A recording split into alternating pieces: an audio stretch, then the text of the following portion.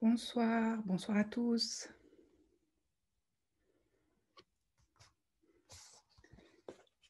Allez, je laisse euh, les personnes se connecter encore quelques une ou deux minutes. Vous connaissez ma ponctualité, mais tout le monde euh, n'est pas super ponctuel. Donc, on va attendre encore un petit peu si vous êtes d'accord. Je suis ravie de vous retrouver.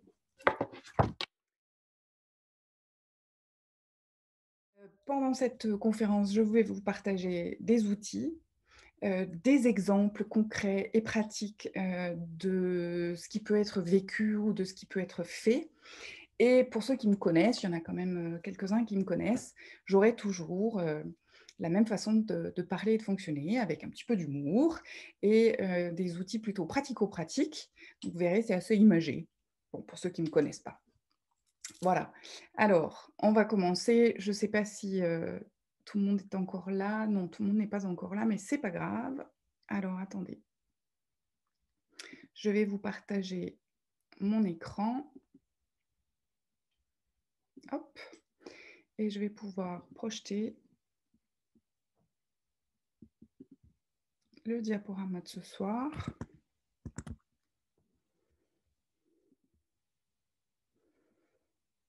Alors, en attendant qu'il y ait encore d'autres personnes qui nous rejoignent. Hop Voilà, bah, vous voyez, comme le, titre l'indique, vous êtes au bon endroit au bon moment, et ça, c'est plutôt sympa. Donc, on va passer une heure et demie ensemble. Euh, je vais répondre à l'ensemble de vos questions. Euh, à la fin de la conférence, lorsque vous pourrez poser des questions avec la barre qui est en bas. Voilà, donc l'idée euh, de cette conférence, c'est d'échanger sur qu'est-ce que je dois comprendre de ce qui se joue dans mon quotidien et comment je peux de façon pratico-pratique le faire évoluer de façon instantanée avec des outils pratico-pratiques. donc on va, on, va les, on va en voir alors tout au long de la conférence. Je vous donnerai quelques-uns des outils que j'utilise quotidiennement en consultation. et je vais d'abord commencer, pour ceux qui ne me connaissent pas, puisqu'il y en a quand même un certain nombre qui ne me connaissent pas, je vais commencer par me présenter et présenter ce que je fais. Donc, je m'appelle Lana, mais ça, vous le saviez déjà, euh, je suis thérapeute de l'âme. Alors, la thérapie d'âme, en fait, consiste, fonction de ce qui se joue dans notre quotidien, d'aller chercher leur origine pour pouvoir libérer ce fameux quotidien. Euh, lorsque on est bloqué dans des situations euh, du quotidien, dans notre quotidien, très souvent, le réflexe qu'on peut avoir, et qui est, un réflexe naturel et humain, c'est de chercher des solutions par rapport à ce qui nous embête et ce qui nous bloque dans notre quotidien. Or, souvent, on tourne autour sans forcément réussir à euh, trouver, libérer, guérir ce qui est en cours. Donc, la thérapie d'âme a une approche un tout petit peu différente qui consiste à aller chercher l'origine. Alors souvent, je donne cet exemple. Vous verrez, j'ai vraiment beaucoup d'images euh, du séisme. Vous savez, lorsqu'il arrive un séisme, très souvent, après ce séisme, il y a ce qu'on appelle des répliques, c'est-à-dire en fait d'autres mini-séismes qui arrivent juste après et qui euh, sont en fait des échos du séisme d'origine. Eh bien, la thérapie d'âme, c'est exactement la même chose. Très souvent, lorsque dans notre quotidien, nous nous retrouvons face à une difficulté, il ne s'agit que d'une réplique. Et tant que nous n'avons pas trouvé euh, le séisme d'origine, eh bien, on peut continuer à tourner en rond sans forcément réussir à, libérer euh, ce qu'il y a à libérer. Je vous donne une image un peu, euh, concrète, l'idée étant d'avoir effectivement des outils concrets et pragmatiques pour à la fois reprendre son pouvoir sur sa vie et ne plus être un peu démuni ou, sans possibilité de voir ce qu'on peut faire ou où est-ce qu'on peut aller, et ainsi de débloquer des situations euh, du quotidien pour pouvoir se rendre la vie. Alors, la thérapie d'âme, ça se passe comment? Alors, on va direct à la problématique, c'est-à-dire qu'on ne va pas tourner autour du pot. Euh, L'objectif, c'est de faire en sorte qu'avec tous ces outils que je partage, vous puissiez être autonome rapidement, euh, de façon à prendre conscience, à voir et à pouvoir agir dans votre quotidien. Donc, ce sont des outils euh, euh, à mettre en pratique de suite. Alors, souvent, on me pose la question combien de temps il va falloir ou combien de séances il va falloir pour que les choses bougent? Alors, j'ai envie de vous dire que ça dépend, c'est très variable et ça dépend surtout de vous. Voilà, si vous êtes prêt, si vous avez vraiment envie que les choses se voient, que les choses se révèlent et que vous puissiez avancer et passer à l'étape suivante de votre vie. Ça peut être rapide. Et puis, il y a des fois où eh ben, c'est un petit peu plus compliqué, on a un peu plus de difficultés et c'est parfaitement OK. c'est simplement le signe que si ça bloque, c'est vous qui bloquez le process. Mon objectif, c'est de rendre les gens autonomes. Vraiment, vraiment, dans ma mission, c'est ne pas prendre le pouvoir. Donc, ça veut dire quoi? Ça veut dire que même si j'ai des capacités extrasensorielles qui me permettent de pressentir, de voir, de savoir des choses par avance, lorsque le patient me parle, je ne veux pas prendre le pouvoir. Donc, aucune addiction. Il m'arrive assez régulièrement euh, de dire à des patients, maintenant on arrête et vous allez reprendre le cours de votre vie sans moi. Je suis là si vous avez besoin, mais maintenant vous avez les outils nécessaires et suffisants pour pouvoir continuer. Voilà, j'ai également euh, une spécialité d'accompagnement des flammes jumelles, mais ça, éventuellement, euh, on pourrait en parler à un autre moment. Ce n'est pas l'objet de ce soir. Les mots-clés de la thérapie d'âme, blocage. Alors, je, mets le cadre de façon à ce qu'on puisse euh, se comprendre ensuite pour la conférence. Blocage, c'est qu'est-ce qui m'arrête? Qu'est-ce qui fait que, à un moment donné, je suis forcée à m'arrêter, forcée à, alors forcée à m'arrêter ou, je m'assois et je ne sais pas quoi faire. c'est pas clair, j'arrive pas à comprendre ce qui se joue, j'arrive pas à intégrer. Et donc, je suis comme immobilisée à un moment de ma vie et vous avez bien entendu, à un moment de ma vie. Traumatisme. Euh, traumatisme, c'est quelque chose qui me percute ou qui m'a percuté et qui a laissé une empreinte chez moi. Souvent, mes patients me disent oui, mais je n'ai pas subi de gros traumatismes, euh, tels que des décès, des accidents. Euh. mais en fait, un traumatisme, c'est quelque chose qui laisse une empreinte en moi. Or, et vous m'arrêterez, mais je pense que vous saurez de quoi je parle, y compris des paroles euh, entendues à un moment donné dans notre vie, ont pu nous percuter et laisser une empreinte chez nous, au point où eh bien, on est capable d'en parler et on est capable de se souvenir de ça, que ça nous a à un moment donné percuté. Et ça, c'est le signe qu'il y a eu traumatisme, que ce soit petit ou grand, peu importe. Les cycles répétitifs, c'est ces trucs qui se répètent non-stop. Alors, j'ai souvent cette image, je donne souvent cette image, vous savez, quand vous êtes sur le bord de la mer il y a des vagues, vous êtes à l'océan ou à la mer, et alors, c'est plus typique à l'océan, mais et voilà, il y a une, vague qui vous percute, vous tombez, vous vous relevez, et il y en a une autre qui se présente. Le cycle répétitif, c'est ça. C'est qu'est-ce qui se répète dans ma vie, sans que je puisse soit le comprendre, soit modifier ce qui se passe. Alors, soit je suis euh, pas du tout conscient de ce qui se joue et je subis pleinement, telles les vagues de l'océan, soit euh, je vois ce qui se passe, je suis conscient de ce qui se passe, mais pour autant, j'arrive pas à savoir comment arrêter ce cycle répétitif. Et puis enfin, il y a les abus. Euh, un abus, dans la définition que je peux en donner, c'est le dépassement d'une frontière, d'une ligne personnelle. Euh, alors, vous savez, c'est cette fameuse ligne rouge là, euh, ou jaune pardon, par terre où on dit ne pas dépasser cette limite. C'est ça. dans ma propre perception, dans ma propre carte du monde à moi, que ce soit une carte du monde morale ou physique, peu importe, mais en tout cas, il y a quelque part le franchissement ou le dépassement de cette limite qui n'est pas OK pour moi. Alors l'abus peut se montrer bien sûr euh, euh, vis-à-vis de moi-même. J'arrive pas à dire euh, stop, j'arrive pas à dire oui, j'arrive pas à dire non, je ne sais pas ce dont j'ai besoin et quelle est ma propre limite. Et ça peut être également dans la relation avec un autre ou avec l'autre, une autre personne, où on n'arrive pas à se positionner et à se dire. Voilà. Ça, c'était, en fait, ce sont les quatre mots-clés de la thérapie d'âme, ce sur quoi on peut avancer, sur ce quoi on peut évoluer euh, dans, cette, dans cette approche. Très rapidement, avant de commencer, ça permet de voir arriver encore d'autres personnes, mon parcours. Euh, donc, j'ai été chef d'entreprise depuis, euh, enfin, pendant 12 ans, pardon, juste avant d'être thérapeute, notamment dans le domaine de la finance, rien à voir. Euh, et puis, il y a 12 ans, j'ai eu un accident de vie, comme ça peut arriver.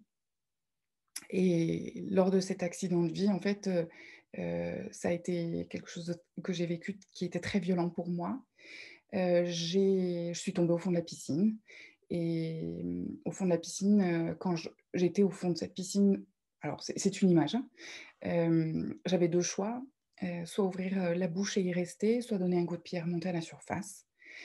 voilà, et j'ai décidé de donner un coup de pied, de remonter à la surface et de trouver des moyens pour m'en sortir, moi, pour trouver des outils pour moi, des solutions pour moi. Et j'ai développé, à partir de ce moment-là, une thérapie qui a été très éclectique et très diverse, puisque j'ai fait deux fois le tour du monde à la recherche d'outils pour moi. Donc, je me suis déplacée au fur et à mesure de mes envies, de mes appels, entre guillemets, pour aller voir un lieu, une personne, une civilisation, une culture, un formateur, un coach, peu importe. Mais j'y allais dans un but très précis. Et j'ai recontacté surtout lors de cet accident de vie mes capacités extrasensorielles qui me permettent aujourd'hui d'animer mes séances, d'animer les ateliers, d'animer les stages avec ces capacités un peu atypiques ou ce qu'on peut aussi appeler des dons. donc je vous ai mis là l'exemple de ce que je peux percevoir. Donc je peux à la fois voir des choses, entendre des choses, sentir des choses ou connaître des choses par avance. Voilà. Et je suis bien évidemment dans un parcours de flamme jumelle. Mais encore une fois, ça n'est pas le sujet, mais simplement c'est pour vous expliquer. Alors, pour commencer pleinement la conférence, pourquoi vous n'êtes pas pleinement maître de votre vie aujourd'hui? Alors, très souvent, ce que j'entends ou ce que beaucoup me disent, c'est que le boulot c'est bof, euh, la famille c'est compliqué, euh, la relation avec euh, son compagnon, sa compagne, c'est difficile. Et souvent, on voit le côté difficile des choses, alors que c'est justement ces choses-là qui nous montrent ce qu'il y a à faire évoluer dans notre vie. Euh, c'est très souvent ces difficultés-là euh, qui justement sont là pour, comme pour nous titiller un peu, pour nous dire, hey, tu vas bouger ou pas? Est-ce qu'il va se passer quelque chose? Est-ce que tu vas changer quelque chose pour toi? Donc tout au long de cette conférence, je vais vous partager des outils euh, pratiques, pour vous expliquer, vous montrer ce qui est possible de faire en fonction des situations. Et je vais pour ça prendre des exemples, des exemples très concrets euh, de situations que j'ai pu vivre euh, avec euh, des patients. La difficulté, très souvent, en tout cas une des premières difficultés qu'on peut voir lorsque on n'est pas complètement, on n'a pas le sentiment d'être complètement, d'avoir complètement la main sur ce qu'on est en train de vivre, c'est qu'on peut être dans ce que moi j'appelle le mode automatique. Alors clairement, ça c'est ma première partie de vie. Hein. Euh, j'ai fait des études, euh, je me suis mariée, j'ai eu des enfants, euh, j'ai eu un, boulot, des amis, voilà, une maison, presque l'image typique de la maison, le mari, les enfants, le chien. Bon, je n'avais pas le chien, mais voilà. Et en fait, tant qu'on n'est pas conscient qu'on est dans ce fameux mode automatique, alors ce mode automatique, il va au-delà hein, simplement de la vie au quotidien, mais ça peut être également dans un système de croyance, dans des cultures, dans un cadre social, dans... Ça, peut être tout plein de choses. Tant qu'on n'en est pas conscient, eh bien, on subit, on vit ça comme étant quelque chose pour lequel on n'a pas vraiment le choix, en fait. Et tant qu'on n'a pas le sentiment d'être euh, dans ce mode automatique, tant qu'on n'a pas le sentiment d'être enfermé ou en tout cas conditionné par notre sac à dos. Alors le sac à dos, c'est quoi? Euh, pour donner une image, très souvent, quand on, met au monde un enfant, cet enfant naît avec ce fameux petit sac à dos dont je vais vous parler. Ce sac à dos, c'est en fait euh, tout ce que les parents nous transmettent lorsqu'ils nous mettent au monde, lorsqu'ils nous conçoivent. Euh, dedans, ils y mettent ben, leurs croyances, leur histoire, donc l'histoire féminine, masculine.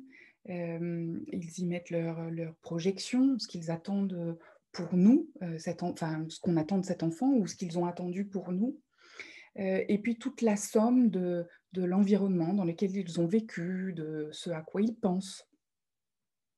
Bref, tout ça constitue ce que moi j'appelle notre bagage, notre sac à dos. Et, très souvent, euh, ça s'est alimenté après au cours de notre vie par euh, bah, ce, que, d'autres personnes qu'on a pu qu'on ait pu rencontrer dans notre vie ont pu déposer également, c'est-à-dire euh, bah, des petits des amis, euh, des, petits camarades de classe, des enseignants, la famille au sens un peu plus élargi que les parents. Et puis tout ce qu'on a pu vivre comme expérience au fil du temps, expérience qu'on a bah oui, qu'on a mis dans notre sac à dos en se disant que si on avait vécu ça et si la conclusion ou, la conséquence ou les conséquences de ce qu'on avait vécu étaient ça, eh bien on peut les, les engrammer dans notre sac à dos. La difficulté souvent, c'est de prendre conscience qu'on a ce fameux sac à dos et euh, euh, à un moment donné dans notre vie, de pouvoir poser ce sac à dos, de regarder ce qu'il y a dedans et de trier les pommes de terre. Alors, trier les pommes de terre, ça veut dire quoi? Ça veut dire que parfois, quand on regarde dans ce sac à dos et qu'on fait l'état des lieux de ce qui s'y trouve, on peut trouver des pommes de terre qui ne sont pas agréables. Ça nous gêne dans le dos, voilà, leur forme n'est pas cool. Ou alors carrément, bah voilà, elles prennent trop de place, elles sentent pas bon, elles sont pourries. Et euh, à un moment donné, c'est de prendre cette décision d'enlever ce qui ne nous correspond plus de ce sac à dos pour pouvoir le remplacer par autre chose. Alors, je vais vous donner des exemples pour que vous puissiez comprendre à quoi ça correspond précisément. J'ai euh, par exemple reçu un, jeune, un jeune chef d'entreprise, artisan, qui en fait venait me voir en me disant j'ai essayé plein de choses. j'ai essayé des thérapies, j'ai essayé de l'hypnose, j'ai essayé plein de choses et je ne comprends pas pourquoi, dans certaines situations de mon activité, je peux me mettre dans de telles colères. Et ça me porte préjudice aujourd'hui, puisque je travaille avec, euh, j'ai des associés, euh, j'ai des salariés, et aujourd'hui, je ne contrôle pas pleinement les réactions que je peux avoir dans certains cas. Alors, euh, voilà, je, peux piquer des colères extraordinaires, et cet homme me disait ça avec une, certaine émotion, en me disant, J'y arrive pas en fait. Je, vois que la colère arrive, je vois que je vais m'énerver parce que le client, ça fait 50 fois qu'il me pose la même question, ou il est une mauvaise foi, ou alors euh, ce salarié euh, voilà, me dit quelque chose et, il ne l'a pas fait, ou en fait il y, a du mensonge, ou il y a des choses qui ne sont, pas, sont pas justes. Je vois arriver la scène, je vois que ma colère monte, mais je n'arrive pas à l'arrêter. Et en fait, tant que ce, jeune homme n'avait pas pu euh, par le biais de, questions que je lui ai posées, se rendre compte euh, que ce mode de fonctionnement, que ces mécanismes étaient en fait, avaient en fait été déposés dans son sac à dos depuis très jeune, euh, il ne pouvait pas euh, prendre conscience qu'il n'en aurait pas, il n'aurait pas la main dessus. Donc, poser ce sac à dos, regarder ce qu'il y a dedans, voir d'où ça vient, ce qui se joue pour nous, là, qui se répète et qui n'est pas OK pour nous. On n'est pas OK avec ce qui est en train de se jouer. Et eh bien, tant qu'on n'a pas posé ce sac à dos, regardé ce qu'il y avait dedans et qu'on n'a pas pris conscience, eh bien, ma foi, c'est plutôt compliqué de, pouvoir changer les choses. Il y a eu cette autre, jeune femme euh, qui m'a contactée, euh, euh, une jeune notaire, qui en fait me faisait part de son, voilà, de son sa fatigue, de son agacement, et puis peut-être même d'une certaine résignation à se dire qu'elle allait peut-être arrêter ce métier-là.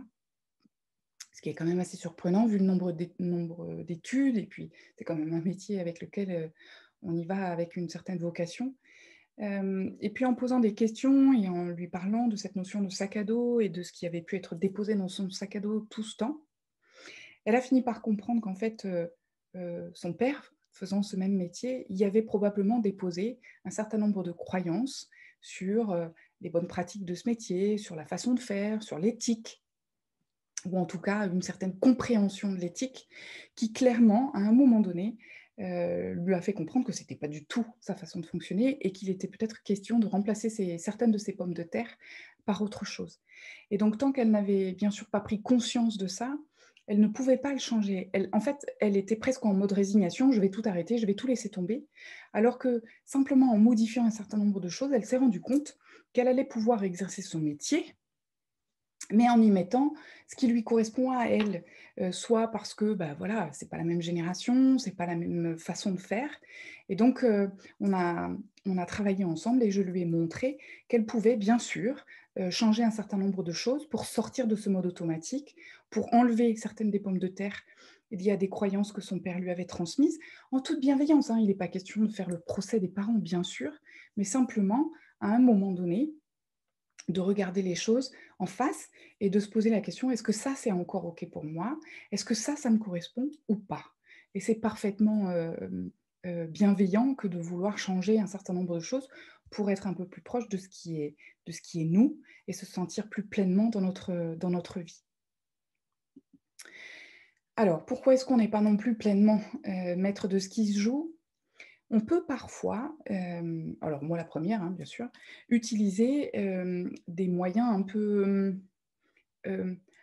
des, ce que moi j'appelle lancer des flèches. C'est-à-dire en gros, c'est trouver des éléments extérieurs qui seraient soit responsables, soit l'objet de tous nos regards ou de toutes nos critiques. Ou, voilà. Et, et, techniquement, ça veut dire que tant qu'on est dans le lancer de flèches, alors le lancer de flèches, c'est je regarde tout ce qui se passe à l'extérieur en oubliant complètement ce qui se joue chez moi.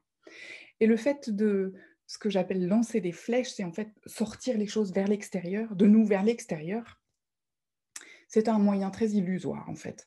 Donc ça donne le sentiment d'être euh, euh, soit soutenu, soit de se donner de la valeur, soit euh, voilà que ce sera plus facile à avancer si c'est l'autre qui est responsable de. Mais c'est un peu comme, euh, j'ai une autre image qui me vient à l'esprit et que j'utilise assez souvent, c'est comme mettre la poussière sous le tapis en fait. Pas vouloir voir les choses pour soi et voir chez les autres tout ce qui ne va pas. Ça parlera à certains. Euh, alors là, encore une fois, pour vous donner un exemple très concret, je me souviens d'une jeune fille qui était venue me voir en faisant part de, de, difficultés qu'elle avait dans sa, dans sa relation amoureuse. Et, euh, et elle me parlait, elle m'a longuement parlé euh, de, euh, des reproches qu'elle pouvait faire à son compagnon, de ce qu'il ne faisait pas, de ce qu'il n'était pas, de ce qu'il n'arrivait plus à être ou de ce qu'il ne faisait plus. Et puis en essayant de l'orienter vers euh, une autre façon de voir les choses, je lui ai posé simplement la question, mais quelles sont vos qualités à vous? Qu'est-ce que vous, vous aimez dans votre relation? Et en fait, elle n'était en capacité de le faire. C'est-à-dire qu'elle n'a pas réussi à trouver euh, quelles étaient ses qualités, qu'est-ce qu'elle pouvait apporter dans cette relation, qu'est-ce qu'elle apportait dans cette relation amoureuse. Et ça, c'est simplement pour vous montrer à quel point elle sortait les choses d'elle-même sans vouloir voir ce qui se jouait chez elle, voir ce qui n'allait pas pour elle. Elle avait complètement euh, euh, projeter sur l'autre ses difficultés en reprochant et en critiquant. Alors, bien sûr que euh, de faire cela, c'est simplement euh, le signe qu'il y a un déséquilibre dans notre vie, un déséquilibre chez soi. Et souvent, ce que je demande à mes patients, c'est simplement de faire de la ferronnerie, vous savez, de forcer les flèches pour qu'elles reviennent vers soi, puisque le seul, la, seule, la seule chose véritablement importante euh, pour se sentir maître de sa vie et pour être, se sentir bien dans sa vie, c'est soi. Donc, une fois qu'on a enlevé ces flèches, ou au moins qu'on les a retournées vers soi pour savoir euh, qu'est-ce qui est important pour nous, euh, qu'est-ce qui ne nous convient pas dans cette relation, qu'est-ce que, quelle est notre, notre action, quelle action on peut avoir et, qu'est-ce qui ne va pas pour nous, eh bien, on va pouvoir commencer l'évolution, le changement en passant par nous. Alors une fois qu'on a dit ça, bien sûr, qu'est-ce qui peut se passer? Euh, Eh bien, c'est que on, se retrouve confronté à un constat euh, un peu dur parfois, euh, qui consiste à, voir dans quel, cercle infernal ou dans quel triangle infernal on a pu se mettre.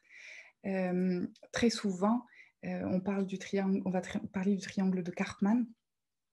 C'est un, triangle qui, quelque part, euh, nous bloquent dans des rôles euh, de victimes, sauveurs ou euh, persécuteurs et qui, encore une fois, nous empêchent de voir la réalité des choses. prendre conscience de où on se situe en fonction de la difficulté avec une autre personne ou une autre situation, parce qu'on peut se positionner en victime dans une situation ou en sauveur ou en persécuteur si, euh, euh, alors je, me souviens de, euh, d'une situation d'une jeune femme qui vient me trouver en me disant ça ne va pas du tout au travail, en fait, j'y arrive pas.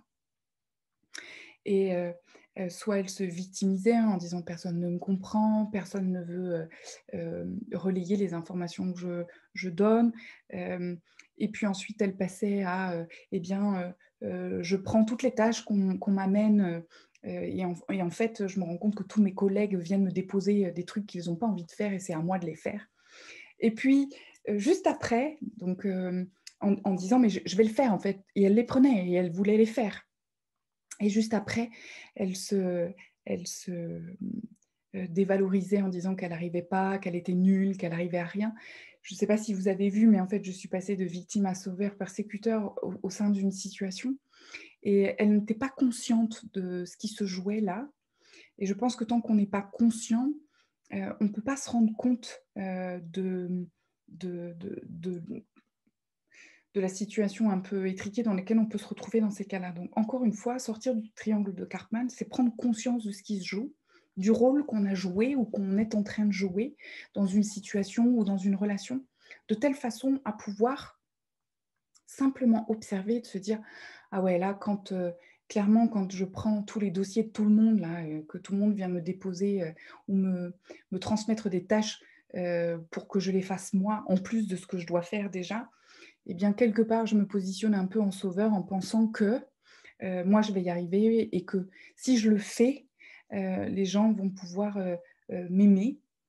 et donc, ça, c'est une, une, croyance très souvent qui, malheureusement, et on va le voir encore un petit peu après, joue sur nous, enfin joue a des conséquences sur nous qui ne sont pas forcément saines. Donc l'idée, c'est de se redonner sa place, euh, de pouvoir reprendre ses, propres capacités, euh, de s'aimer suffisamment pour en fait sortir de ce triangle et se donner sa propre valeur, sa propre place, sans euh, penser que en étant sauveur on va aider les autres ou qu'en étant sauveur on va nous aimer un petit peu plus. En sortant du mode de victime, tout ce qui nous arrive n'est pas toujours lié aux autres. Alors bien sûr, il y a des circonstances et des, relations ou des épisodes dans notre vie qui peuvent être difficiles, mais ce qui est certain, c'est que nous avons la possibilité de faire quelque chose pour ça, pour sortir de cette situation, pour ne plus s'en plaindre, pour mener une action suffisante et nécessaire pour nous sortir de ça, pour ne plus rester victime. Il y a toujours quelque chose à faire. Et puis persécuteur, bah, c'est euh, à un moment donné de s'aimer suffisamment pour pouvoir être bienveillant pour soi et pour les autres tout ça, c'est euh, en fait ce, triangle de Cartman. L'idée, c'est de pouvoir au moins prendre conscience du rôle que chacun peut avoir en fonction des situations, des moments dans sa vie ou euh, de certaines relations ou de certaines situations, de façon à pouvoir sortir de ça. Encore une fois, souvenez-vous, prendre conscience, c'est le premier niveau de guérison. Alors, si on dit que prendre conscience, c'est le premier niveau de guérison, comment est-ce qu'on fait ça? Eh bien, on va revenir sur, euh, vous savez, la notion que j'ai abordée tout au départ, la notion de traumatisme. Dans, notre vie, quand euh, un traumatisme s'enclenche, alors encore une fois, on va prendre quelque chose de très léger, une parole qu'un camarade de classe a pu nous dire ou, ont pu nous répéter, plusieurs camarades ont pu nous répéter dans l'enfance, ça a pu chez nous laisser une trace. Et cette trace, même si au départ le traumatisme est minuscule, avec le temps, il va s'enquister, il va devenir un petit peu plus, il va se cristalliser et devenir un peu plus épais. Et dans le temps, il y a comme des filaments qui vont pousser tout autour de ce traumatisme, ces filaments venant dans notre quotidien. Au bout de ces filaments, des boutons pressoirs. Ces boutons pressoirs, ce sont quoi? Eh bien, ce sont toutes ces petites et grosses situations de notre quotidien, là, aujourd'hui, ici, maintenant, qui, lorsqu'elles vont euh, arriver, vont comme appuyer sur des boutons pressoirs qui, eux, sont reliés par, le filament au traumatisme et qui vont faire que chaque fois qu'un bouton pressoir va s'enclencher dans notre quotidien, le traumatisme va ressortir. Euh, l'idée, en fait, c'est de repérer ces boutons pressoirs. Qu'est-ce qui vous fait réagir dans la vie de tous les jours? Alors, réagir, qu'on s'entende, soit en excès, colère, euh, euh, voilà, hystérie, ou ou maladie, enfin des choses qui vous font aller dans un sens ou dans l'autre. L'autre, c'est eh ben ça, quand ça s'enclenche, je me ferme telle une huître ou je rentre dans ma coquille tel un, escargot et je n'en sors plus jusqu'à ce que je me sente suffisamment bien pour pouvoir remontrer le bout de mon nez, ressortir de la grotte dans laquelle je suis, je suis descendue. Ces deux situations sont des signe que le bouton pressoir s'est enclenché pour vous. Vous ne savez pas pourquoi ça s'est enclenché, mais la réaction est immédiate et vous ne savez pas. Alors, vous ne savez pas toujours ce qui a pu déclencher ça, ou en tout cas pourquoi ça s'est déclenché, et euh, ce qui vous a mis dans cette situation si euh, difficile et inconfortable. Donc, l'idée, pour prendre conscience, c'est justement d'observer ces boutons pressoirs. Alors, très simple, notez-les. Écrivez. Un petit peu tous les soirs, vous vous posez, vous prenez un petit carnet avec vous et vous notez tout ce qui a pu vous faire réagir dans la journée, de telle sorte à pouvoir lister ces boutons pressoirs et pouvoir y travailler après coup. Alors, comment y travailler? Euh, Un des outils euh, les plus forts que j'utilise euh, en thérapie d'âme, c'est l'outil du calque. L'outil du calque, c'est quoi? En fait, c'est cet exercice que je vais vous expliquer juste après, cet outil qui consiste à faire le lien entre ce fameux bouton pressoir et le traumatisme. Comment faire? Vous prenez une feuille à 4, vous tracez une colonne au milieu de façon à avoir deux colonnes, colonne de gauche, colonne de droite. Dans la colonne de gauche, vous écrivez en haut euh, euh, votre bouton pressoir. Donc, par exemple, euh, phrase assassine prononcée par mon patron aujourd'hui, et vous notez la phrase en question. Ça peut être euh, voilà, euh, la colère euh, avec votre enfant ce soir en rentrant qui a déclenché chez vous une crise d'hystérie, ou alors la réaction de quelqu'un, ou alors bah, voilà, n'importe quel exemple que ça puisse être. Vous le mettez en titre. Et puis, à partir de ce titre, vous allez vous remettre dans cette situation, dans cet événement qui s'est passé, et vous allez décrire cet événement.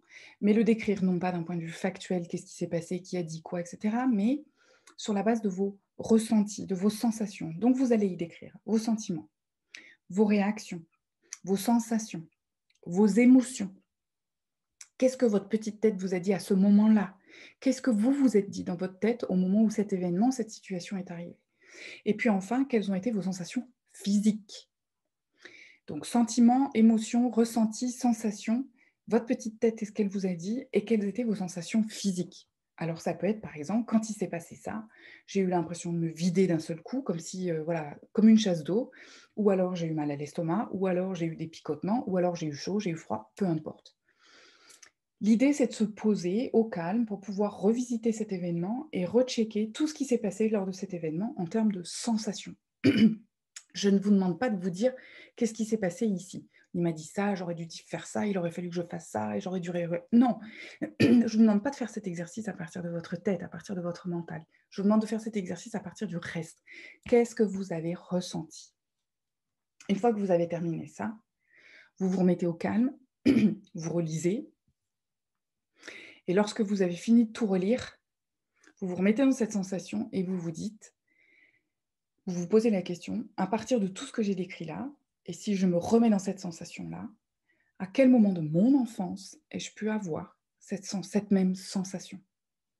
Et fonction de ce qui vient comme événement, comme souvenir, eh bien vous remplissez à droite en mettant le titre de cet événement lorsque il s'est passé ça à tel endroit avec telle personne et vous refaites le, le descriptif émotion, ressenti, sentiment, sensation, etc. Cet outil du calque est un outil hyper puissant pour pouvoir mettre en lumière les boutons pressoirs et les traumatismes, pour pouvoir révéler les traumatismes. Une fois que les traumatismes sont connus, révélés, on va pouvoir avoir une action sur ces traumatismes, les libérer, et ça va de facto, automatiquement, lorsque le traumatisme va se libérer, tous les filaments et les boutons pressoirs de votre quotidien vont, se désactiver. Comment vous savez que c'est OK? Eh bien, vous le savez parce que justement, d'habitude, euh, à, à, telle occasion ou dans tel événement, dans telle situation, il y a quelque chose chez vous qui, qui s'enclenchait, le fameux bouton pressoir, et là, ça s'enclenche plus. Ça, c'est le signe que le calque a fait son effet et que vous pouvez maintenant passer à l'étape suivante, qui est d'observer les autres boutons pressoirs et les autres traumatismes.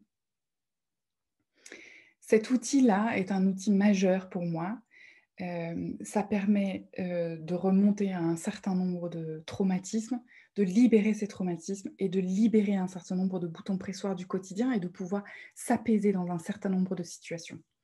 Pour retrouver les détails de cet outil de calque, vous retrouverez euh, une vidéo un peu plus complète sur cet outil précis du calque sur ma chaîne YouTube si vous voulez en savoir un petit peu plus et réécouter l'outil du calque. Alors ensuite, comment prendre conscience? Eh bien, on, l'a vu lorsqu'on observe quelque chose qui n'est pas OK, il s'agit maintenant euh, de créer un résultat différent. On a constaté que quelque chose n'allait pas. Comment est-ce qu'on peut faire pour amener quelque chose de différent? Alors, il y a plusieurs possibilités. La première étant de prendre la responsabilité, c'est-à-dire d'accepter de voir ce qui est en train de se jouer pour pouvoir, à un moment donné, y amener un autre résultat. Alors, je ne sais plus, il y a une citation très connue qui dit à faire toujours les mêmes, euh, les mêmes choses, on, on s'étonne euh, d'avoir toujours le même résultat. Et en fait, bah, très simplement, pour avoir un résultat différent, il faut simplement faire des choses différentes au départ. Donc l'idée, c'est de changer d'angle de vision.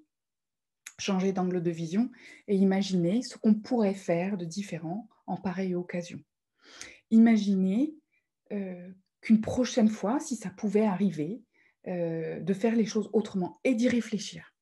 Alors, je vous donne un exemple. J'ai énormément de personnes qui me disent euh, Oui, alors je viens vous voir parce que j'ai telle problématique. Je sais d'où ça vient. Euh, je connais l'explication. Je sais pourquoi. Euh, je l'ai identifié. Mais pour autant, ça revient et j'arrive pas, j'arrive pas à passer outre en fait.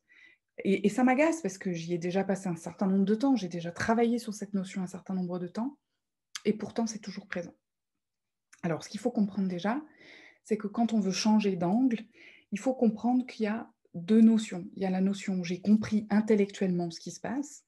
Voilà, si je réagis comme ça, c'est parce que euh, mes parents m'ont habitué à fonctionner comme ça. OK, et ça fait des années que je fonctionne comme ça, d'accord Ça, c'est la partie intellectuelle. J'ai compris ce qui se joue, j'ai compris d'où ça vient. Mais il y a également la partie émotionnelle.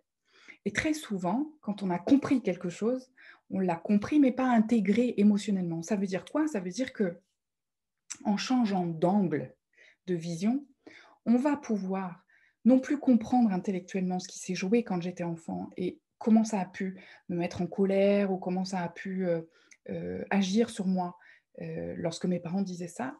Mais on va changer d'angle en disant, OK, là j'ai compris d'un point de vue adulte, en fait, je m'explique les choses d'un point de vue adulte puisqu'aujourd'hui je le suis comment est-ce que j'ai vécu les choses quand j'étais enfant? Et j'explique très souvent que changer d'angle, c'est aussi accepter de regarder ce qu'un enfant euh, qui a vécu cette situation-là, à l'âge auquel il l'a vécu, a pu prendre les choses. Je vous donne un exemple. Lorsque euh, un adulte euh, m'explique que à l'école, ça s'est super mal passé. Il n'était pas super doué, alors, j'ai en tête un, monsieur en particulier qui me disait Bon, l'école, ce n'était pas pour moi, clairement. Euh, les études m'ont poursuivi, mais ce n'était pas mon truc. Et j'allais à reculons. C'était vraiment euh, un vrai calvaire pour moi d'aller à l'école. Et quand, il est, quand je lui pose des questions Mais pourquoi, en fait Il m'explique que euh, sa vitesse d'apprentissage n'était pas celle de la classe, ou en tout cas des autres camarades qui étaient là. Et souvent, il était on se moquait de lui, euh, voilà, alors que ce soit en classe, mais aussi euh, en récréation. Et il m'explique très gentiment que bah, ces problématiques, euh, ensuite, pour évoluer dans sa vie active, dans sa vie professionnelle, bah, se sont un peu prolongées. et il sait aujourd'hui que ça vient de ça, en fait. Il, se souvient de phrases que certains enfants ont pu lui, lui dire. Et c'est comme engrammé en lui, en fait. Et il a pris ça dans son sac à dos vous vous souvenez de la notion du sac à dos en se disant bah voilà euh, j'étais nulle euh, j'étais pas efficace euh, voilà j'étais plus lent que les autres voilà j'y arrivais pas quoi j'étais pas douée. Et donc ça intellectuellement c'est très clair pour lui. Et il voit bien le lien intellectuel avec ce qui se joue aujourd'hui dans sa vie où bah, il ne se sent pas à l'aise sur certaines tâches qu'il peut avoir à faire, euh, que quand on lui parle d'une formation, euh, c'est une catastrophe pour lui parce que devoir retourner en formation, euh, c'est quelque chose qui est vraiment très pénible, parce qu'associé au fait qu'il est plus lent que les autres, etc. Et en, en l'aidant à changer d'angle, je lui disais, OK, vous avez compris intellectuellement ce qui s'est joué, vous avez fait le lien, et ça c'est parfait. Mais est-ce que vous pouvez me décrire ce que vous, enfant, euh, vous pensiez de tout ça? Et comment vous, enfant, vous l'avez vécu? Et là, il revient en m'expliquant, oui, bah, c'était dur, euh, voilà, j'étais triste, j'étais en colère. Et là, je lui dis, mais en fait, là, vous me reparlez à nouveau d'un point de vue d'adulte. Et il me dit, oui, mais c'était, c'était pas si terrible au final. Enfin, les autres me, me raillaient, tout ça, mais enfin bon, c'était pas non plus terrible. Et je lui dis, voyez, changer d'angle de vision, c'est ça en fait. C'est vous dire que là, quand vous me dites ça, vous réagissez en tant qu'adulte. Or, à l'époque, lorsqu'il vous arrivait ça, vous aviez quel âge? 6 ans, 7 ans? Pensez-vous vraiment qu'un petit cerveau de 6 ou 7 ans pouvait avoir le recul que vous avez aujourd'hui? De vous dire bah oui bah c'était pas si grave. Ou alors bah finalement j'ai réussi. Quand vous parlez de votre expérience, vous en parlez avec votre expérience et votre maturité d'adulte. Or, en changeant d'angle de vision et en laissant cet enfant de 6 ou 7 ans parler de ce qu'il est en train de vivre à l'école avec ses camarades, ça va donner une, toute autre perspective. Et ça va permettre à un moment donné de prendre vos propres responsabilités, de vous dire, mais ouais, en fait, ce petit garçon de 6 ou 7 ans, ça a été très traumatisant pour lui. Il savait pas comment faire, il savait pas quoi faire, il savait pas quoi répondre, il savait pas s'il pouvait en parler aux adultes ou pas. Il savait pas vers qui se tourner. Et, en fait, en, travaillant ensemble sur ce changement d'angle de vision, il s'est rendu compte qu'effectivement, il portait comme un, un, jugement de cette expérience qu'il avait vécue à 6 ou 7 ans avec un regard d'adulte. Et c'est pas du tout ça qu'il faut faire, puisque quand ça s'est joué, il n'avait que 6 ou 7 ans. Et le traumatisme s'est créé à ce moment-là, en fonction de ce qu'il comprenait de l'événement, à ce moment-là. Donc l'expliquer avec le cerveau d'adulte, c'est complètement décorrélé de ce qui s'est réellement joué. Et lorsqu'on a fait cet exercice ensemble, il a convenu qu'effectivement, il avait compris les choses émotionnellement, intellectuellement, mais qu'il ne les avait pas intégrées émotionnellement. Et on a travaillé ensemble à apaiser ce petit garçon de telle sorte à ce que les choses puissent se libérer. Et ça a effectivement montré des effets dans son quotidien. Un autre exemple rapide, deux associés m'ont consulté. Ils avaient une décision stratégique à prendre. Et lorsqu'on a échangé euh, ensemble, tous les trois, euh, ils m'expliquaient avec leur tête pourquoi ils allaient prendre cette, une décision, les arguments les positifs, les arguments négatifs. Et euh, en fait, ils, ils, argumentaient avec leur mental, avec leur tête, sur ce qu'ils devaient faire ou pas. Et changer d'angle de vision, ça a été simplement de leur poser une seule question. Vous m'avez bien, je leur ai dit, vous m'avez bien expliqué euh, ce que vos têtes vous suggèrent de prendre comme décision stratégique. Qu'est-ce que votre cœur en dit? Et là, la réaction a été assez différente pour ces deux personnes et ils se sont en fait rendus compte que leur décision était déjà prise par leur cœur et qu'ils étaient simplement en train d'argumenter, mais que les choses étaient très claires par rapport à ce qu'ils souhaitaient faire.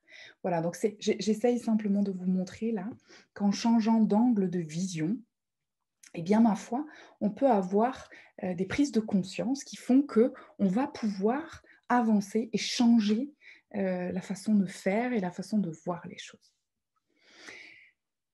Prendre conscience, c'est surtout, à un moment donné, pouvoir vous poser et accepter de vous écouter. Vous écoutez, ben, je vous ai donné cet exemple de ces deux associés professionnels qui avaient cette décision à prendre, qui avaient pris beaucoup, beaucoup de temps pour réfléchir ce qu'il fallait faire, pas faire, etc et qui au final, lorsque je leur ai posé la question, mais qu'est-ce que vous, vous avez vraiment envie de faire? Qu'est-ce que vous feriez si c'était votre cœur qui parlait et non pas votre tête? Eh bien, ils ont su spontanément répondre. Prenez ce temps. Prenez ce temps de ressentir qu'est-ce que vous, vous aimeriez faire. Comment est-ce que vous, idéalement, vous aimeriez pouvoir réagir. Ok, vous n'y arriverez peut-être pas tout de suite, là, maintenant, mais au moins, posez-vous la question. Idéalement, voilà, qu'est-ce que je pourrais faire? Qu'est-ce que j'aimerais faire? Comment j'aimerais réagir? Qu'est-ce que j'aimerais atteindre? Voilà, pour moi, pas pour la situation, pas pour la personne, pour vous. Et donc, c'est de se poser et de s'écouter. Alors, pour ça, j'ai un outil super simple que j'appelle le cahier des évidences. Le cahier des évidences, c'est en fait euh, le fait de se poser. Alors, souvent, je rigole euh, avec mes patients en leur disant je vous donne un devoir, deux minutes par jour, vous notez tout ce qui s'est bien passé dans votre journée tous les moments super sympas que vous avez vécus. Vous notez des boutons pressoirs, vous notez des choses qui, à un moment donné, seront nécessaires de travailler. Vous les notez dans votre petit cahier magique, le cahier des évidences. Vous prenez simplement deux minutes par jour pour vous et uniquement pour vous pour travailler. Alors parfois j'y vais même en disant vous faites ça pendant 21 jours, 33 jours, en fonction de ce que je perçois. Euh, ça c'est le petit clin d'œil, je leur dis que c'est souvent ma posologie, euh, alors pas médicale parce que je ne suis pas médecin, mais c'est ma posologie. L'idée, c'est que, euh, voilà, que vous puissiez prendre un moment au calme avec vous-même pour prendre des décisions. Il n'y a jamais d'urgence. Franchement, des, urgences vitales, vous n'en vivez probablement pas tous les jours. Alors, sauf si vous êtes dans le cadre de votre activité, euh, dans ce style de responsabilité, on est d'accord. Mais pour vous, dans votre vie personnelle, il y a rarement des urgences vitales. Donc, ça veut dire quoi? Ça veut dire que vous pouvez prendre le temps. Et si ce n'est pas le cas, si vous vous dites il faut absolument que je le fasse, posez-vous la question, pourquoi est-ce si urgent? Pourquoi est-ce que vous devez absolument faire ça? Même manger, on peut attendre un peu. Même dormir, on peut attendre un peu. Qu'est-ce qui est si urgent? Qu'est-ce que vous vous imposez à vous-même qui est si urgent de prendre comme décision? Franchement, prenez ce temps pour réfléchir et vous verrez que simplement en vous écoutant et en vous respectant, deux minutes par jour. Alors, il y a des mamans qui me disent, mais moi j'ai plein d'enfants, j'ai des enfants en bas âge, je ne peux pas prendre deux minutes, vous savez ce que c'est, etc.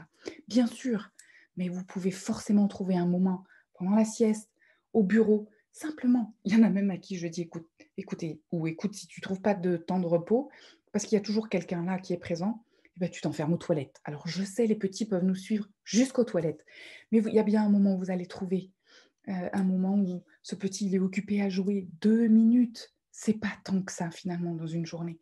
Sauf que si vous ne prenez pas le lead et si vous ne le faites pas, eh bien ça ne viendra pas. Et ça, ça ne dépend que de vous. Mais de grâce, écoutez-vous, prenez ce temps-là pour respirer, pour pouvoir euh, voilà, vous poser et prendre ce temps avec vous, pour pouvoir prendre conscience des choses que vous vivez dans votre vie. Si vous êtes en mode métro, boulot, dodo, à courir partout et à avoir plein de choses à faire, posez-vous la question, est-ce que c'est si essentiel que ça? Alors vous savez, moi dans ma première vie, je repassais des heures entières. Je me souviens de ces piles de linge là qui montaient jusque je ne sais où. J'y passais mon dimanche après-midi à repasser des draps dessous. Des... quand j'y pense, je me dis, mais ce temps que j'ai perdu, posez-vous la question, est-ce que c'est vraiment si important que ça? Et voyez quelles sont les tâches qui aujourd'hui vous polluent. Polluent, ça veut dire quoi? Ça veut dire que vous le faites parce que vous vous sentez obligé de le faire. Est-ce que c'est si important que ça? Posez-vous cette question. Euh, on est d'accord, dans la première partie de vie, vous m'auriez dit de ne plus repasser, je vous aurais dit, hey, c'est pas possible. Sauf qu'entre-temps, je me suis posée, j'ai réfléchi et j'ai fait le point. Et si vous preniez ce temps pour faire ce point-là pour vous, qu'est-ce que vous en pensez? Une fois qu'on a dit ça, et pour sortir du mode de victime, bah, je vis que des trucs terribles, c'est l'horreur, je m'en sors pas, je vis des trucs à répétition. Vous avez choisi votre vie ici, maintenant. Et l'objectif, c'est justement de revenir dans le ici et maintenant. Lorsque euh, on va euh, vouloir sortir d'une situation, il y a une question magique à se poser. Une. Et pour ça, je voudrais vous donner un exemple euh, d'une patiente qui avait été vraiment en difficulté, la pauvre, une maman, maman d'une adolescente, enfin ou jeune adulte, 17 ans, 17 ans et demi.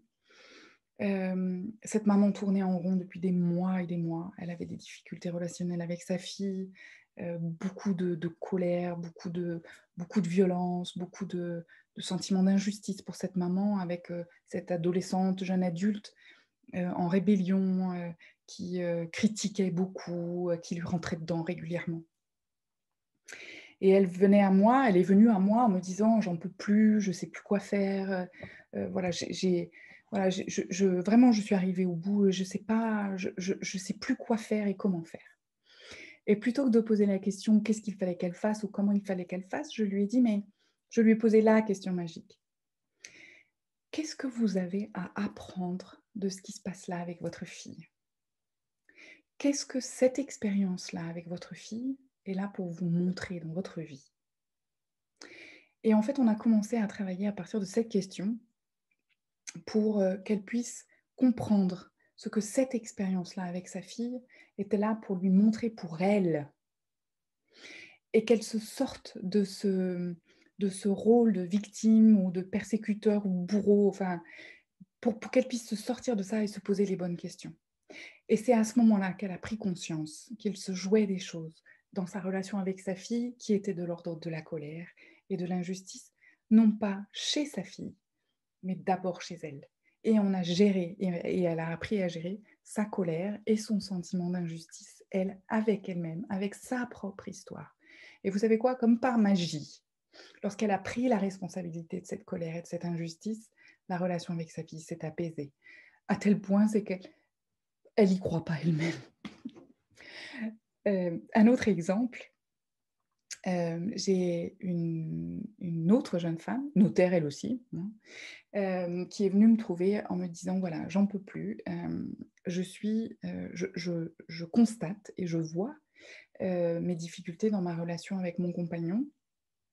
Je suis extrêmement contrôlante, quelque part chiante avec lui euh, et je me suis rendu compte que c'était au moment de ses déplacements, au moment où il part, au moment où il va pour faire quelque chose seul et que je ne le vois plus, que je ne sais plus où il est ou que je, n'ai plus de, contact avec lui direct, où en fait je m'inquiète extrêmement et je ne sais pas comment me sortir de cette situation. Idem, même question. Qu'est-ce que tu as à apprendre de cette expérience-là? Et en travaillant ensemble sur prendre conscience de ce qui se passait à ce moment-là, notamment via son ressenti, hein, vous vous souvenez pas ça, mais tout le reste, ses sensations, ses sentiments, ses émotions. Elle a pris la responsabilité de ce qui se jouait là, en retrouvant notamment l'origine de ce traumatisme qu'elle a vécu lorsqu'elle était enfant avec son père, lorsqu'il lui était arrivé, son père s'était fait agresser, et elle a véritablement cru que son père allait mourir. Et elle avait pris la responsabilité de ce qui s'était passé lorsqu'elle était enfant, avec son petit cerveau de 4 ans, où elle était persuadée que c'était de sa faute. Alors je ne sais plus les, circonstances exactes, mais elle était persuadée euh, que c'était de sa faute et elle a gardé ça dans cette expérience et elle l'a transposé dans son sac à dos au point de ressortir maintenant dans sa vie de tous les jours et en se disant que si son compagnon partait, s'il n'était plus sous son contrôle, il pourrait lui arriver un malheur.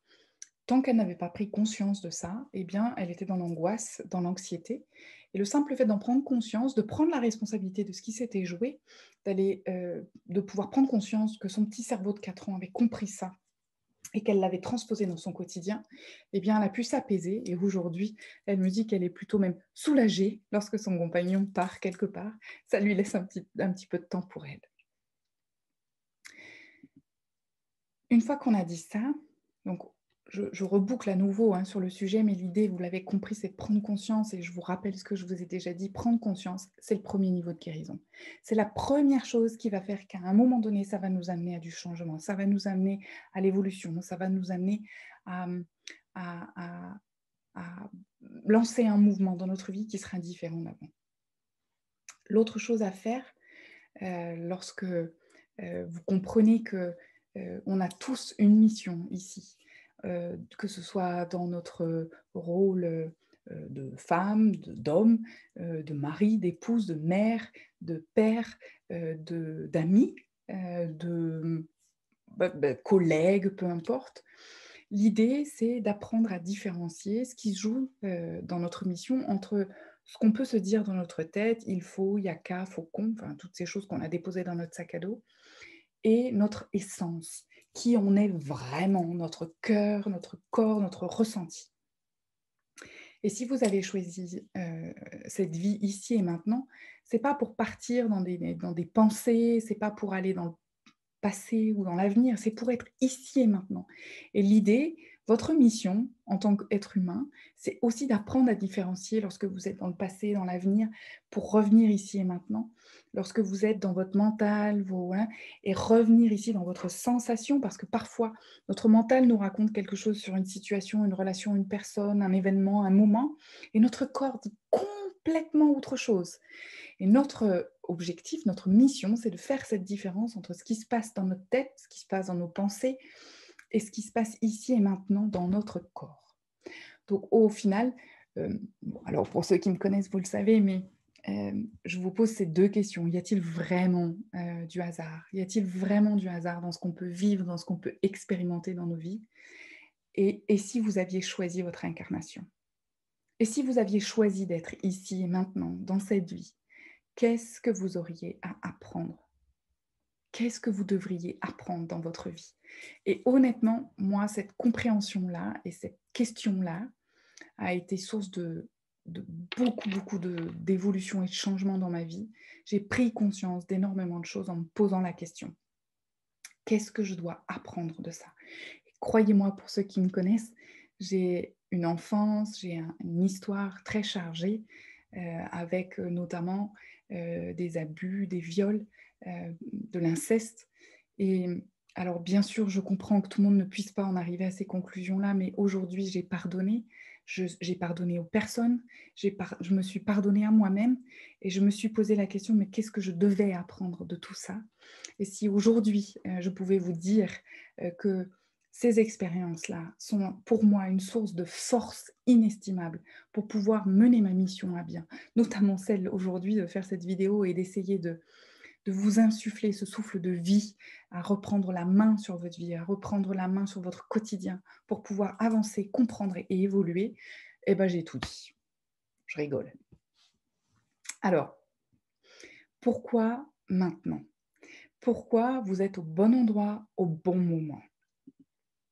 Eh bien, exactement pour les raisons dont on vient de parler, c'est de prendre vos responsabilités dans ce qui se joue pour vous, de sortir du, triangle de Carpane, de sortir de euh, cette situation de victime ou de bourreau, ou pour pouvoir prendre vos responsabilités. Ça veut dire quoi? Ça veut dire ben, observer les flèches que vous lancez. Euh, cette jeune femme qui critiquait son compagnon, oui, mais il fait pas ci, il fait pas ça. Ok, Peut-être qu'effectivement c'est le cas, je ne suis pas en train de dire l'inverse. Mais vous, de votre point de vue, dans cette relation, qu'est-ce que vous, vous pourriez faire pour vous-même et pour la relation? Et donc, c'est de ramener les flèches à vous pour savoir qu'est-ce que vous, vous pouvez faire. Alors pour ça, je vais vous donner une image que j'adore. Je vais vous le faire en total. Je ne sais pas si vous l'avez déjà entendu, mais vous verrez bien. C'est celle du masque à oxygène. Alors, on prend plus beaucoup l'avion ces derniers temps, mais si vous avez pris l'avion dans le passé, souvenez-vous de ce message qui est attribué au moment des consignes. Vous savez, quand on monte dans l'avion, en cas de dépressurisation, un masque à oxygène tombera automatiquement. Alors, je ne veux pas la voix de l'hôtesse, mais pensez à porter le masque d'abord sur votre visage avant de porter assistance aux autres. Vous transposez ça avec votre vie? Portez d'abord le masque à oxygène sur votre visage avant de tenter d'aider vos proches d'aider votre compagnon, vos collègues, vos amis, vos enfants. Alors on est d'accord, hein, les enfants qui sont en capacité d'être un tout petit peu autonomes et indépendants, y compris pour mettre des chaussettes et des chaussures. N'essayez pas de leur mettre leurs chaussettes et leurs chaussures si vous-même, vous, n'êtes pas OK. Pensez à mettre votre masque à oxygène en priorité. Ça veut dire quoi? Ça veut dire à vous, vous occuper de vous, à prendre soin de vous pour ne pas être à court d'oxygène, en apnée, j'ai tellement de personnes qui viennent en consultation, des personnes qui sont en apnée dans leur vie. Ça veut dire qu'elles elles prennent tellement d'attention pour les, toutes les personnes autour d'elles qu'elles finissent par ne pas pouvoir respirer et ne plus respirer. Et parfois, je leur dis, respire ou respirez à fond, profondément là. Et faites-le plusieurs fois par jour. Oxygénez-vous. Pensez à vous d'abord. Comment pouvez-vous porter attention porter secours à des personnes autour de vous si vous n'avez pas vous-même votre propre masque à oxygène. Euh, vous voyez l'image avec euh, le masque à oxygène dans l'avion? Clairement, hein, s'il faut que vous aidiez quelqu'un alors que l'avion est dépressurisé et que vous n'avez pas le masque à oxygène sur votre visage, clairement, vous ne pourrez pas l'aider. C'est pareil dans votre quotidien. Donc, observez les flèches que vous envoyez, portez le masque à oxygène sur votre visage avant de porter assistance aux autres. Et l'autre outil, super important. Regardez les sacs à ordures qu'on vous envoie. Imaginez, allez, je fais appel à votre imagination. Imaginez deux maisons mitoyennes, mais face à face, comme il existe parfois, avec un petit jardin chacun et une, barrière au milieu avec une petite porte. D'accord? Ces deux maisons sont face à face, les portes d'entrée sont face à face. Lorsque dans une relation entre deux personnes, une des personnes dit des choses qui sont pas cool et qui sont pas OK pour celle-ci-là. Eh bien, symboliquement, c'est comme si ce voisin-là, régulièrement, en envoyant des reproches, en envoyant des critiques, en envoyant des observations pas très agréables, négatives ou pas agréables, envoyait son sac à ordures, ses ordures tous les jours, de l'autre côté de la barrière, dans le jardin de ce voisin-là. Et lorsqu'on n'est pas conscient que ce voisin-là envoie des ordures, eh bien, ma foi, on accueille gentiment sur notre jardin, dans notre jardin, les ordures des autres. Ça veut dire quoi concrètement? Eh bien, si on reprend cet exemple d'un collègue qui, tous les jours, vous fait une remarque sur votre façon d'être, votre façon de fonctionner, votre méthode de travail, régulièrement, eh bien, il vous envoie ses sacs à ordures. Et si vous ne dites rien, en plus de vos propres ordures que vous aurez dans votre jardin, hein, parce que vous savez, régulièrement, il faut jardiner dans son jardin, enlever les feuilles mortes, trier les... Bref, il faut faire du tri chez soi. Eh bien, si, l'air de rien, vous laissez vos voisins balancer leur propre sac à ordures, alors c'est vachement sympa pour ce voisin-là d'envoyer ses sacs à ordures chez l'autre, parce que comme ça, on a l'impression que son terrain est plus propre. Vous voyez l'idée? Si vous laissez ces personnes-là envoyer leur sac à ordures chez vous, eh bien, vous serez un petit peu sous les ordures. Ça peut pas être très agréable, ça peut ne pas être très agréable en termes d'odeur, d'occupation, etc. L'idée, c'est quoi? Et très souvent, je parle de cet outil-là en disant aux gens, faites-moi la liste des sacs à ordures qu'on peut vous envoyer tout au long de la journée. Alors, votre collègue, votre ami, votre compagne, euh, votre enfant, euh, s'il est un peu plus grand. Et faites-moi la liste de ces sacs à ordures qu'aujourd'hui vous acceptez de votre côté du jardin sans rien dire. Alors l'idée, bien sûr, hein, c'est une fois qu'on a pris conscience qu'on nous envoie des ordures, pris conscience qu'on les accepte gentiment sur notre jardin, qu'on les acceptait gentiment dans notre jardin jusqu'à maintenant, eh bien c'est une fois qu'on l'étape d'après, après avoir observé ces sacs à ordures, c'est de se dire maintenant je les arrête à la frontière au milieu et gentiment je reprends le sac et je dis écoute ton truc là, tu es bien gentil mais tu te le reprends de ton côté de ton jardin parce que moi j'en veux pas. Voilà, donc l'idée au moins commencez par observer quelles sont les ordures que d'autres personnes vous envoient dans votre propre jardin et que vous laissez. Vous laissez le sac à ordures gentiment atterrir sur votre terrain, soit sans en être conscient jusque-là, soit en laissant faire parce que, bah, ma foi, euh, voilà. Il y a des voisins qui sont gentils hein, à accueillir les, ordures des autres. Est-ce que, c'est, est-ce que vous voulez vraiment rester euh, dans cette situation-là? Ou est-ce que votre objectif, c'est à un moment donné de pouvoir renvoyer les sacs ordures chez les autres? Eh bien, je vous, pose la question. Vous voyez, c'est un peu odorant, tout ça, c'est pas cool. Mais l'idée, c'est en fait de vous donner ces images pour que vous puissiez visualiser les choses, prendre conscience de ce qui se joue, pour pouvoir enfin changer après. Pourquoi au bon moment? Eh bien, parce qu'à un moment donné, une fois que vous avez observé tout ça, que vous n'avez pas votre masque à oxygène, que vous lancez des flèches, que vous acceptez des sacs à ordures qui ne vous appartiennent pas, eh bien, c'est d'apprendre à vous positionner, d'apprendre à vous dire, eh bien, à partir de maintenant, et c'est ça le bon moment, à partir de maintenant, je vais changer les choses. Je vais prendre mes responsabilités et je vais faire de l'éco-responsabilisation, c'est-à-dire que dans mon jardin, eh bien, je vais trier les ordures. Ce qui est à moi, je vais me le trier moi-même, je vais l'emmener à la déchetterie, je vais, je vais recycler, je vais, enfin, je vais faire ce qu'il faut. Et pour ce qui ne m'appartient pas, eh ben, je vais le rebalancer dans le jardin de celui qui est concerné. Et je ne conserverai pas ces ordures-là. Ou alors, à l'avenir, eh bien, si un soir je rentre absolument exténuée de ma journée, ou si je suis exténuée de mon télétravail qui m'a pris la tête comme ça et que euh, ben, mes enfants, mon compagnon me sollicitent, mes voisins, mes amis, mes machins, mes trucs, eh ben, je vais d'abord aller m'oxygéner moi, je vais prendre un espèce de sas de sécurité rien que pour moi, pour me recharger, et ensuite je pourrai aider les autres, mais clairement, je ne vais pas continuer à être en apnée et à continuer ma journée comme ça. Ce sont des petits exemples que je vous donne, mais qui vont apprendre à vous positionner, vous, ici et maintenant, pour pouvoir faire les choses de façon un tout petit peu différente dans votre quotidien et ainsi ramener beaucoup de bienveillance pour vous. Pourquoi? Soyons pragmatiques. Quand on lance des flèches, quand on ne met pas son masque à oxygène, quand on accepte les ordures des autres, eh ben c'est comme si on ne voulait pas être doux et bienveillant avec soi-même. Voilà, je vais le faire pour les autres, je le fais parce que je n'ai pas le choix, je le fais parce qu'il faut. Eh bien, tout ça, c'est pas de la bienveillance en fait. Parce que regardez l'attention parfois que vous, vous mettez pour euh, soulager un enfant, pour prendre en charge ce qui se passe pour un compagnon. Est-ce que c'est vraiment aussi équilibré ce que vous pouvez faire pour l'autre et ce que vous faites pour vous? Posez-vous cette question. Et donc l'idée de tout ça, c'est vraiment à un moment donné de ramener de la bienveillance pour vous.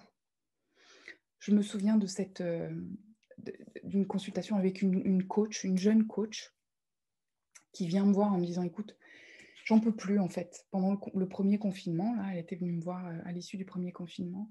J'ai dépensé une énergie extraordinaire, j'ai beaucoup communiqué sur les réseaux, j'ai fait beaucoup, j'ai beaucoup aidé, j'ai beaucoup donné. Et là, en fait, ben, j'en peux plus quoi je suis fatiguée physiquement, je suis fatiguée moralement. J'ai l'impression euh, que, j'ai plus, plus de jus, j'ai plus de gaz. Et en fait, en en discutant toutes les deux, on s'est rendu compte Et je l'ai amenée à, prendre conscience qu'elle avait en fait dispersé toute, toute son énergie, toutes ses énergies, et qu'elle était maintenant complètement vidée. Et donc, on a remis les choses en perspective et je l'ai invitée à euh, voilà, faire, de la, faire du ménage sur son terrain en, rendant certaines ordures, en triant ses propres ordures, en allant à la déchetterie, en faisant du recyclage, de telle sorte à pouvoir alléger un peu son jardin, à remettre son masque à oxygène sur son, nez, de façon à pouvoir, elle, reprendre euh, de l'énergie euh, pour elle et pour pouvoir se, se recharger comme se recharger. En fait, l'autre image qu'on peut prendre, c'est celle de la voiture. Hein. Si vous faites le trajet du covoiturage pour absolument tout le monde, mais que vous ne faites jamais le plein, il y a un moment donné, la voiture, elle va s'arrêter. Faites le plein. Pensez à faire le plein. Donc au final, la conclusion, mais vous l'aviez compris, hein, j'avais fait un peu l'introduction juste avant, acceptez qui vous êtes vraiment. Et ça veut dire quoi? Eh bien, acceptez comment vous fonctionnez aujourd'hui. Acceptez qui vous êtes, avec vos flèches, vos habitudes, vos automatismes, votre sac à dos. Si vous refusez ça, c'est comme si vous ne vouliez pas le voir. Et si vous ne voulez pas le voir, vous ne pourrez pas faire ce tri. Souvenez-vous de, l'image des ordures. Si vous ne prenez pas conscience de ce que vous avez dans votre jardin, de ce que vous avez accepté dans votre jardin, de ce que vous acceptez dans votre jardin aujourd'hui, si vous ne prenez pas conscience que vous ne mettez pas ce masque à oxygène sur votre nez, eh bien, ma foi, ça ne changera pas. Donc, acceptez comment vous êtes aujourd'hui pour pouvoir le changer. Si vous vous dites Oh non, mais moi, je ne fais pas ça, je ne veux pas voir, eh bien, ça ne pourra pas changer. C'est pas possible, en fait. Donc, prendre conscience, c'est accepter qui on est vraiment, avec ses côtés sympas et puis ses côtés un peu moins sympas, mais y compris ses côtés un peu moins sympas. Regardez-les vraiment. Souvenez-vous, changez d'angle. Comprenez pourquoi ces, ces côtés-là existent aller chercher pourquoi ça a eu existé ou ça a existé et, changer d'angle. Si vous avez cet automatisme, il y a forcément une raison. Et oui, alors j'adore cette citation, ou en tout cas cette idée de se dire que, vous savez, tous ces gens-là qui sont les plus détestables possibles, tous ces gens on n'a absolument pas envie d'aller vers eux parce que vraiment, ils n'ont pas l'air... Euh, voilà. Vous savez quoi? Ben, Ce sont ces gens-là qui ont le plus besoin d'être aimés les gens qui sont exécrables, les gens qui sont colériques, les gens qui sont tristes, les gens qui sont pas bien en fait. Ce sont ces gens-là qui ont, ont le plus besoin d'être aimés, de se comprendre eux-mêmes ou d'être compris. Ayez cette approche pour vous. Vous l'avez la plupart du temps pour vos enfants, pour les gens que vous aimez. Vous êtes capable de tout comprendre, vous êtes capable de, euh, de les aimer quoi qu'ils fassent. Pourquoi vous ne feriez pas la même chose pour vous? Franchement, est-ce que vous trouvez ça juste de pouvoir excuser, un de vos amis ou, votre compagnon ou votre compagne ou votre enfant d'avoir fait telle ou telle bêtise, et vous, vous autoflagellez, vous condamnez toute la journée sur ce que vous faites, vous jugez toute la journée sur ce que vous êtes en train de faire. Donc de grâce, accompagnez-vous avec amour, avec bienveillance, en vous disant ouais bah là j'ai pas été cool sur ce truc-là. Pourquoi est-ce que je réagis comme ça? Ok, peut-être qu'il y a effectivement une explication qui fait que je suis plutôt là-dedans que je suis plutôt dans la colère, dans l'incompréhension, dans la mise à distance, dans la fuite. Comprenez pour vous accompagner avec amour. S'il vous plaît, faites, faites ça pour vous. Aimez-vous. Apprenez à vous aimer. Avec les côtés sympas, les côtés moins sympas. Et les côtés moins sympas, vous pouvez avoir une action dessus. Les côtés sympas, vous pouvez les mettre encore un peu plus. C'est pas génial ça? Prenez ce temps-là pour vous, pour vous accepter comme vous êtes. Alors bien sûr, je vous ai mis un certain nombre d'exemples. Si vous voulez plus de sens, si vous voulez faire évoluer votre vie, si vous voulez tout simplement arrêter. Alors, je, reprends une, expression que certains me disent assez souvent ce cycle infernal des emmerdes. Voilà, moi je suis abonnée aux emmerdes. Ça, je l'entends assez régulièrement. L'impression que vous êtes enfermé dans une boîte. Ça, je l'entends aussi très souvent. Mais en fait, je suis dans une jolie boîte. Puis souvent, on me dit en plus, et elle est plutôt jolie, plutôt dorée. Voilà, que vous, vous avez. Euh, chercher des solutions, vous avez déjà fait des formations, vous avez fait déjà des lectures, vu des vidéos, euh, vous avez essayé de comprendre et pourtant il n'y a pas d'issue. Ben, pour savoir euh, ce qui est bon pour vous, eh ben, il n'y a que vous en fait. Donc cherchez les outils, trouvez les personnes qui peuvent vous faire évoluer à un moment donné, juste vous donner un petit truc comme ça qui peuvent vous faire, vous faire avancer. Et c'est en, en, ça que moi je propose d'aider en fait. Alors pour aider, plusieurs possibilités. Et là, je vais vous montrer ce que je peux faire et surtout, je vais vous expliquer pour pourquoi. Je fais des consultations individuelles, ça c'est sûr, mais je fais aussi du travail en groupe. Pourquoi en groupe? Alors, le travail en groupe a plusieurs avantages. Le premier avantage, c'est qu'on peut échanger, partager. Alors, Dieu sait qu'en ce moment, on a besoin euh, d'être entre nous, de partager, d'échanger nos expériences, nos ressentis, notre vécu. Euh, ça, c'est la première chose. La deuxième chose, c'est que lorsqu'on réagit face à une situation, à une relation ou un événement avec ça, donc, hein, on est d'accord, hein, c'est cette partie-là qui, tel le hamster, tourne dans son petit machin-là, sur qu'est-ce que tu aurais dû dire, tu aurais dû faire, et s'il aurait fallu faire ça, et si c'était passé ci, et si c'était passé ça. Cette partie-là qui analyse, qui tranche, qui segmente, qui fractionne pour comprendre, analyser, etc. Ça, c'est votre tête, on est d'accord. Hein. Quand cette partie-là, elle n'a pas envie de faire le tri des ordures. Quand elle n'a pas envie de comprendre, eh bien, ma foi, on est dans l'affrontement. Je ne veux pas voir, je ne veux pas entendre. Quand on est au sein d'un groupe et qu'une autre personne parle de cette expérience, parce qu'il y en a toujours un qui accepte d'en parler, parle d'une expérience similaire à ce qu'on vit, on s'identifie et on se dit, ah, euh, bah, finalement, je ne suis pas le seul ou la seule à penser ça. Et cette personne, ce qu'elle vit, c'est exactement ce que je suis en train de vivre. Et donc, par ce biais-là, par le biais du groupe, peuvent passer un certain nombre de messages euh, qu'on peut parfois ne pas entendre quand on est face à face à quelqu'un parce qu'on est en forme de résistance. On ne veut pas y aller, on a peur que ça fasse mal, on a peur que ce soit difficile, et donc on n'y va pas. Et dans le groupe, l'effet de groupe peut faire qu'il y ait ce que moi j'appelle des ricochets ou des boomerangs, c'est-à-dire que moi, Lana, je dis quelque chose à une personne, celle-ci ne se sent absolument pas concernée, et pour autant, bien sûr, il y a des similitudes. Et donc, le simple fait d'échanger avec cette personne-là va faire boomerang vers cette autre personne qui, pour le coup, le mental n'ayant pas été sollicité parce qu'on n'est pas en train de lui parler, va pouvoir intégrer des messages qu'il n'aurait pas intégrés s'il était simplement en, consultation individuelle en face à face, par exemple. Donc, je fais pour ça des ateliers sur une journée, sur une thématique donnée. Donc, je vous donne un certain nombre là d'exemples de thèmes. Donc, comment débloquer des situations, trouver vos propres outils à vous pour avancer, négocier avec votre ego, pour en faire un allié et non pas le mettre de côté ou lutter contre, comme je peux l'entendre. Absolument pas question de lutter.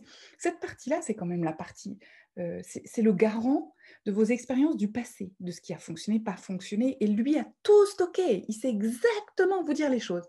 Donc au contraire, c'est un outil hyper puissant pour prendre des décisions. Une fois que vous savez ce qui s'est mal passé par le passé, et eh bien vous pouvez ressentir, sentir les choses et faire autrement. Donc j'apprends à négocier pour en faire un allié et non pas le mettre de côté la relation amoureuse, la sexualité, commander l'abondance. Alors l'abondance, pas que financière, mais l'abondance au sens général. J'apprends également à se révéler soi-même, à pouvoir accepter de faire du soi, du vous. Ça veut dire quoi? Ça veut dire, ben, vous faites un métier, ce métier-là, il vous convient, mais les règles qui vont avec, alors pas éthique, hein, on est d'accord, mais certaines règles ou certaines us et coutumes, c'est pas OK pour vous.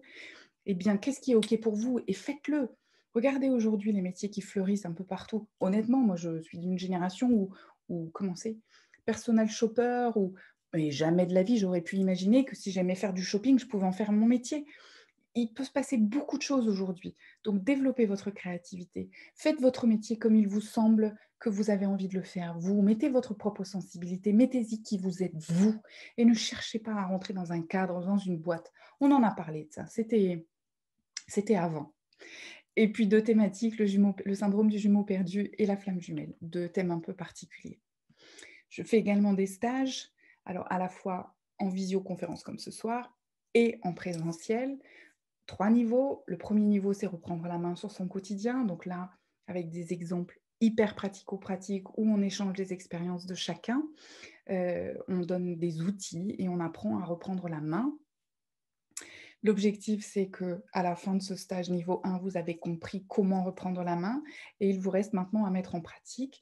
Mais la prise de conscience est en train de se faire ou en tout cas, elle est faite. Le niveau 2, c'est bah, l'étape un petit peu après où là, l'évolution est en marche et très concrètement, vous allez apprendre à repérer quelles sont encore les situations de blocage qui pourraient rester à ce stade-là. Et niveau, le stage niveau 3, c'est vraiment de prendre votre pleine puissance pour pouvoir être vous-même dans toutes les missions de votre vie perso, professionnel, euh, artistique, culturel, etc. Peu importe, mais en tout cas, de faire du vous et vraiment d'incarner votre mission. Voilà, trois niveaux de stage, bien sûr, progressifs, au fur et à mesure, sur deux jours chacun, chacun de ces stages. Alors à ce stade-là, bien sûr, il y a des personnes qui vont se sentir concernées par tout ce que j'ai dit et, et les autres, ceux qui se disent que seuls, euh, on va aller plus vite, et les autres, ceux qui savent que d'être accompagnés, on va pouvoir aller encore un peu plus loin, et puis tous les autres. Et c'est OK en fait, que vous ayez envie ou pas, que ce soit le moment ou pas, c'est OK. En tout cas, ce que je peux vous assurer, et en tout cas c'est ma conviction, c'est qu'être accompagné permet d'aller plus loin et plus vite, et que ça évite parfois de tourner autour du pot pendant des années, ce que j'ai fait dans le passé, où on tâtonne, où on cherche et on ne trouve pas forcément. Euh, eh bien, à un moment donné, c'est de trouver la bonne personne, celle que vous, vous sentez, vous percevez, qui est OK, ou la situation, l'outil qui est OK pour vous, et de vous lancer pour le tester, pour y aller. Alors, une fois qu'on a, dit ça, on passe au côté beaucoup plus pratico-pratique. Je vous propose ce soir, à l'issue de cette réunion, d'avoir, si vous le souhaitez, un rendez-vous de 15 minutes gratuit en visioconférence pour pouvoir échanger ensemble sur votre situation maintenant et voir ce qui pourrait, euh, en termes d'accompagnement ou en termes de solutions, savoir ce qui pourrait vous correspondre, soit euh, en termes d'outils, soit en termes de type d'accompagnement. À l'issue, donc je vais vous donner euh, dans les, commentaires les deux liens, soit pour cliquer et prendre le rendez-vous gratuit, soit pour d'ores et déjà commander un pack, puisque j'ai proposé, en fait, mes, patients, et ça c'est mes patients qui m'ont proposé ça, ils ont constaté que financièrement, ça pouvait avoir un coût euh, d'évoluer et puis en même temps euh, euh, de demander du temps. Et donc, je propose maintenant des packs qui comprennent à la fois la possibilité d'avoir accès à des stages, des ateliers ou des, et, ou des consultations et de pouvoir utiliser, alors économiquement plus intéressant, et surtout d'utiliser le contenu de ce pack sur une durée donnée. Alors, vous pourrez regarder tout ça sur mon site si vous le souhaitez. Mais en tout cas, si vous souhaitez euh, commencer avec le pack, euh, le premier pack, qui est le pack Réveil, eh bien, je vous mettrai le lien là tout à l'heure dans les questions-réponses, euh, de telle sorte à ce que vous puissiez cliquer dessus et réserver dès maintenant si vous le souhaitez. Et puis une troisième chose, et ça c'est moi qui, qui le fais avec un immense plaisir, à partir de ce soir, parce que vous avez participé à cette à cette conférence, je vais vous partager là dans les cinq semaines qui viennent euh, dix ressources inédites et gratuites euh, sur euh, voilà, des exemples de, choses que vous pourriez changer, mettre en place. Donc, vous allez à partir de maintenant recevoir deux emails par semaine pendant cinq semaines, de telle sorte à avoir dix ressources inédites à mettre en pratique, bien sûr, à partir de, je crois que ça commence, on est quoi Peut-être fin de semaine, là, je sais plus. Surprise. Voilà, donc dès ce soir, vous pouvez bénéficier de ces deux possibilités. Euh, je vais vous donner les liens de façon à pouvoir cliquer euh, et pouvoir bénéficier de ces offres-là pour ce soir. Voilà, donc je suis arrivée dans la 21h21, tout est juste, petite heure miroir en plus. Euh, on va arriver au moment des questions-réponses. Donc si vous avez des questions sur ce qu'on a dit là maintenant, eh bien c'est le moment de poser des questions. Euh, alors, j'ai déjà. Il y a, alors, je mets mes lunettes, pardon. Thibaut qui dit euh, pas de hasard, absolument pas. Et oui, bon, bah, ça, c'est. Voilà, chacun, euh, chacun, son, chacun ses, croyances. En tout cas, je, je, fais partie de ces personnes qui pensent qu'il n'y a effectivement absolument pas de hasard. donc, merci Thibaut. Voilà. Est-ce que vous avez des questions auxquelles je puisse répondre maintenant? Allez-y, c'est le moment. Euh, en attendant, ce que je vous propose, si vous êtes d'accord, c'est euh, si vous souhaitez avoir des informations complémentaires, si vous, souhaitez en savoir plus euh, sur ce que j'ai dit et puis plein d'autres choses, vous pouvez liker ma page Facebook de telle sorte à avoir, par exemple, les dates des prochaines conférences gratuites qui vont intervenir et ou des ateliers et ou des stages et des événements que j'organise.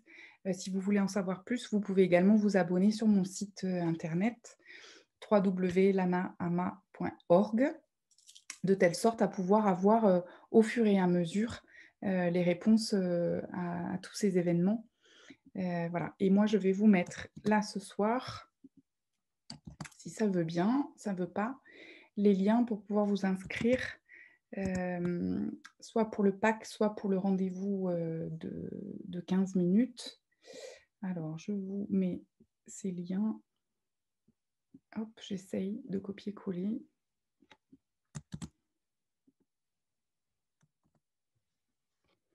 Voilà. Normalement, vous allez pouvoir voir les deux liens. Est-ce que vous pouvez me confirmer que vous avez les liens, la visibilité des liens?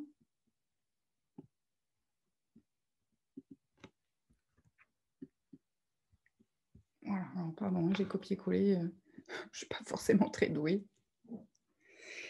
Vous, vous retrouverez ces liens euh, dans la vidéo un petit peu plus tard. Est-ce que quelqu'un a, une question? Darélia, merci. Alors, une question. Bien reçue, super. Merci Mélissa, c'est gentil. Pas de questions pour ce soir? Tout a été clair, net et précis Super. Si vous n'avez pas de questions, tout va bien. Euh, pas de questions du tout. Alors, oui, si, une question. Comment retrouver les informations? Alors, déjà, je vais vous envoyer le replay euh, de cette euh, conférence demain midi demain dans la journée. Donc, vous pourrez voir et revoir cette conférence euh, et éventuellement euh, voilà, la partager si vous le souhaitez. Euh, je fais une conférence gratuite comme ça à peu près tous les mois et demi. Donc, la prochaine interviendra début mars. Donc, on pourra se retrouver début, mars si vous le souhaitez. Merci Mélissa. C'était super d'assister à la conférence. Merci. Merci d'être venue. Et, donc, si vous avez voilà, besoin d'en savoir plus, vous pouvez retrouver toutes les informations sur mon site et sur Facebook. Super, c'est une autre prise de conscience au passage. Génial. Merci Thibaut, à bientôt. Merci Florence, avec plaisir. Je vous souhaite à tous une belle soirée, puisqu'a priori il n'y a plus de questions, donc c'est parfait. Euh, je vous souhaite une belle soirée. N'oubliez pas de prendre ces deux minutes par jour pour vous. Euh, pour vous poser, y compris dans vos toilettes ou dans votre voiture, on s'en fiche. Mais prenez ces deux minutes pour vous poser les bonnes questions, notez les boutons pressoirs, notez euh, ce que vous souhaiteriez pouvoir conserver pour vous. Et je vous souhaite à tous une bonne fin de soirée. À bientôt euh, en live ou en vidéo. À très bientôt tout le monde. Au revoir.